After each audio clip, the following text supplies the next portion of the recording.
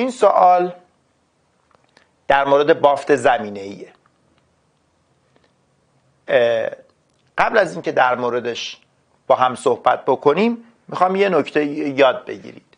بچه ها بافت های زمینه ای اسم دیگهشون بافت های شیماییه شیمایی.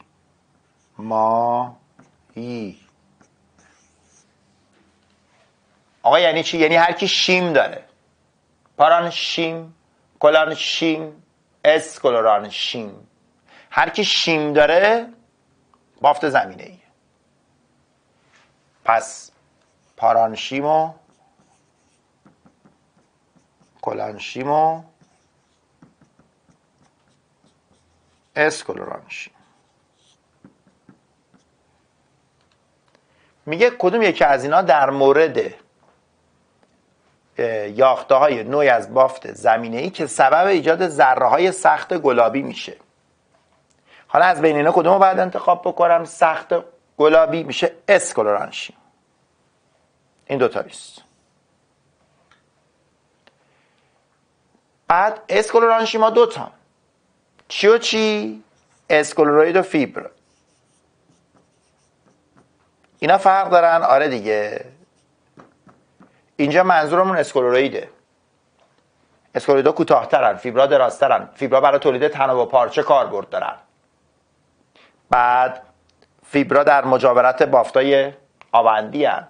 این گیرش رو اسکلورویده بنابراین مثلا گزینه دو که میگه در مجاورت یاخته های آبکشی مشاهده میشه غلطه.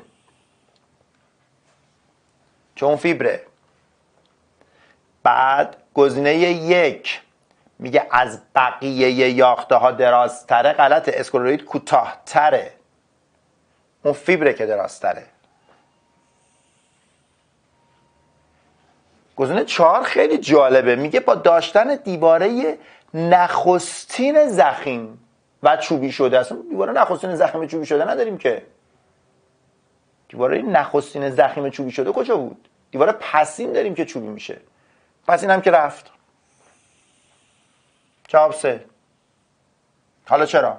میگه طی حیات خودشون می‌تونستن با یاخته های مجاور خودشون ارتباط داشته باشن. بالاخره همه سلولای گیاهی که مردن یه زمانی زنده بودن توی زنده بودنشون هم با طی حیاتشون هم با یاختهای مجاورشون ارتباط داشتن.